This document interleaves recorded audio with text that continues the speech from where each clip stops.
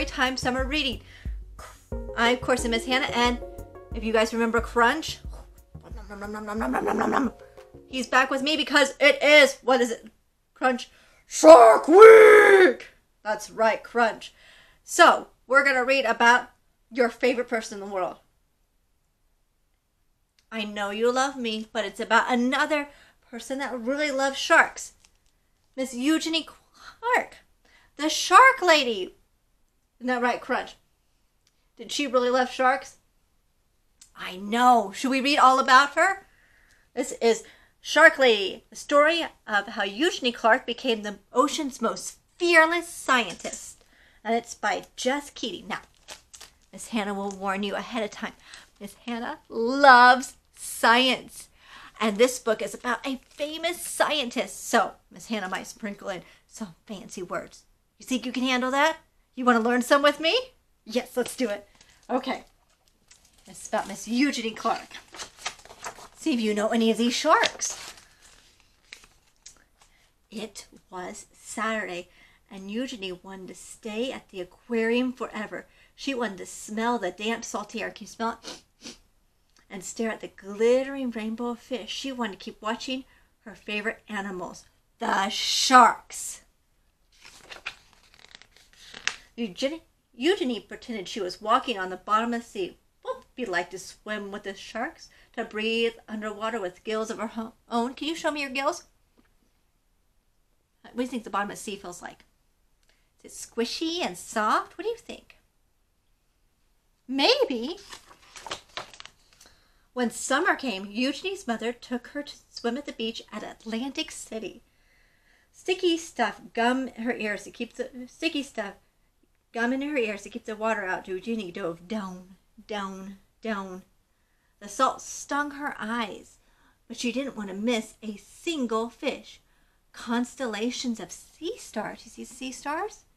Speckled on the pebbled sand, she imagined a silvery fin standing strong on her back, slicing through the ocean current. Silvery fin? Who has a silvery fin on their back? A shark does. Dolphins do too, you're right. To others, sharks were ugly and scary, but Eugenie knew that they were beautiful. As she glided through the cool water, she wished everyone could see sharks through her eyes. But sharks were but sharks were only in her mind for now. Eugenie decided to learn everything she could about them. So she dove. This time into what's she doing? She's reading into books. Whale sharks, nurse sharks, tiger sharks, lemon sharks. Eugenie wanted to know about them all. She also joined the Queens Queens County Aquarium Society as its youngest member. Isn't that cool?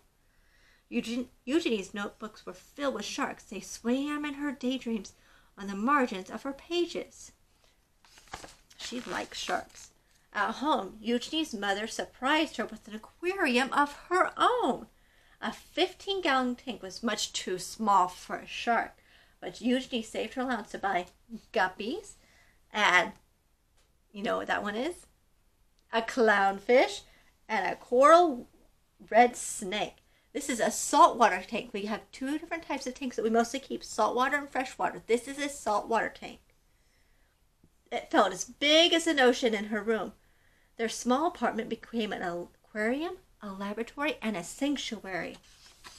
What do you think this one is? It looked kind of like an angelfish to me. Maybe she has an angelfish in her aquarium. As she grew older, many were still telling Eugenie to what to do. Forget those sharks. Be a secretary. Be a housewife. Eugenie wanted to study zoology, but some of the professors thought women weren't smart enough to be scientists or brave enough to explore the oceans, and they said sharks were mindless monsters. Eugenie knew better. Her dream was was as big as a whale shark, so so again, Eugenie dove. It is perfectly okay for girls and boys to be scientists. I'm a scientist and I studied zoology. It was one of my favorite things. She plunged into every course as she could. Her laboratory became her home. From sunrise to sunset, she studied how fish grow, how they behave, and how they were put together, both inside and out. Despite all the people who didn't believe in her, Eugenie was becoming one of the smartest students in her field. Even after she earned her degree, many still doubted her. She got her degree in zoology, which means the study of animals. She studies specifically, here's a big word for you, ready? Ichthyology. There we go. Ichthyology, which means the study of fish. Can you say it for me? Ichthyology? It's a hard one. You guys did great, though. But Eugenie's work was just beginning. Eager to make discoveries of her own, Eugenie finally dove into the open ocean. In the Red Sea, Eugenie collected hundreds of fish, including three new species that had never been discovered before. It's the Red Sea sand diver, Trigonosus naki, the Bard's zinni pipefish, or the Sican, Siconithix benetuvii, and volcano trip, triple fin, Helogogramma volcana. Those are the scientific names, the second ones. And, so, and they're Latin, so sometimes it's hard to say. On a research mission exploring the Palm Islands, Eugenie was diving alone when she encountered her first ever wild shark. She was not fright. Instead, she thought it was beautiful. What kind of shark do you think it is? Maybe. And on Isla Mujeres, she dispelled the myth that sharks must always keep moving to stay alive when she swam, swam through dark caves, silent and still, full of resting sharks.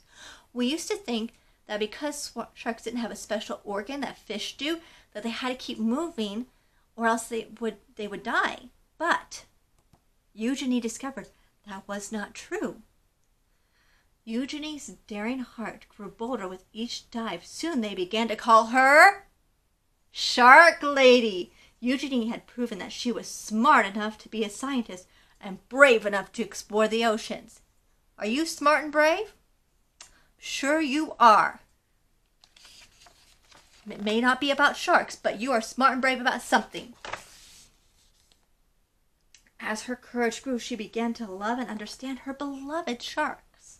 More and more, she never, but she never forgot the people who still believed that sharks were mindless ant killers. Because of their scary reputation, humans were hunting sharks all over the world. Eugenie knew that sharks weren't stupid or mean, and she was determined to prove everyone wrong. Look how big the shark mouth is. Has is your mouth that big? Do you have that many teeth? Sharks have 3,000 teeth. How many do you have? 32. Did you know that? They have so much more than you. But they're, look at all the stuff they're hunting. Is it good to hunt our animals that much? No.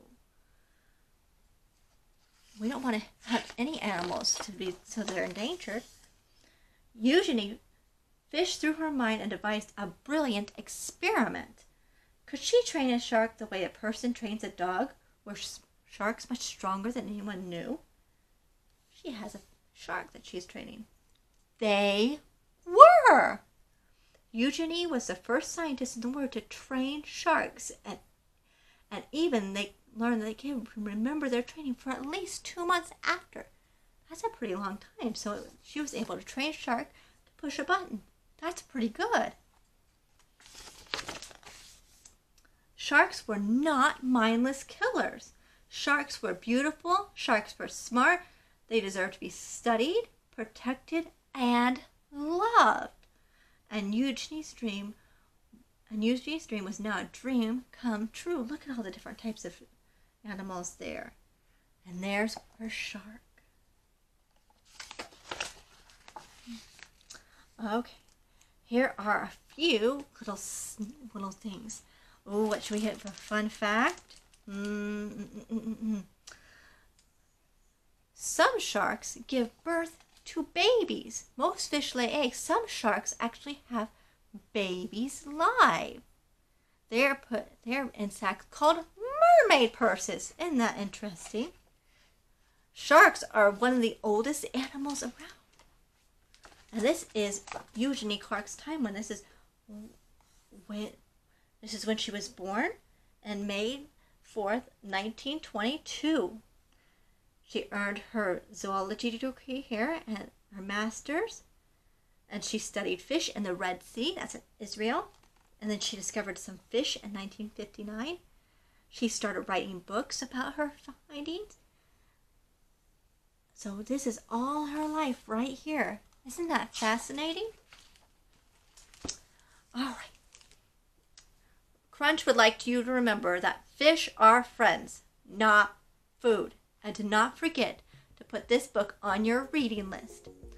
And we have one more week of summer reading.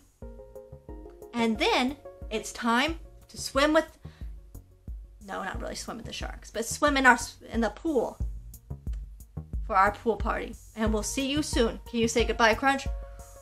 Fish are friends, not food. Goodbye.